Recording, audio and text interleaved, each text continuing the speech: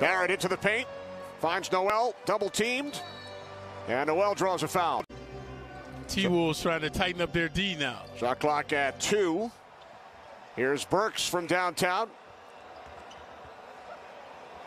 in a Minnesota Timberwolves uniform, 11 and a half points, and Jim arguably one of the biggest steals in Timberwolves history when he took that ball away from Nikola Jokic. Oh, no doubt. Quickley was only one of nine at one point.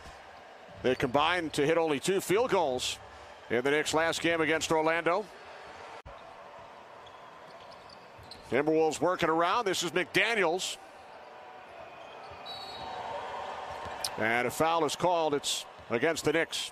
You, you stand outside waiting on the bus, your pants legs freeze, man. Here's Hair. Okogie spinning inside on Gibson.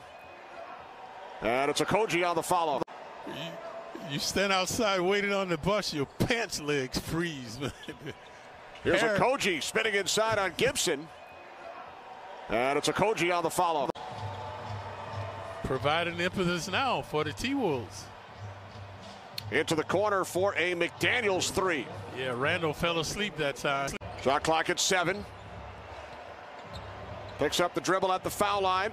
Here's Edwards driving baseline. Deflected out.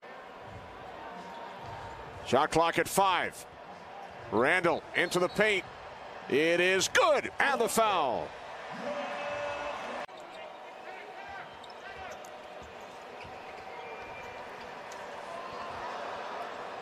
The Barrett miss, rebounded by McDaniels. Yeah, nice bound by McDaniel. He had the big first half.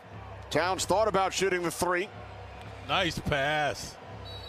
And the foul. McDaniels will head to the line. So Producer McDaniel, a big rebound. He's trying to complete the old-fashioned three-point play. They want Towns. Into the corner, the three, oh. no good. Barrett with the rebound following the McDaniels miss. The worst of his career. Misses the second free throw, rebounded by Randle. Two point Knick lead with 12.8. Down to five seconds. So the Knicks will hang on. They received a scare in the fourth quarter, but they defeat Tom Thibodeau's former club.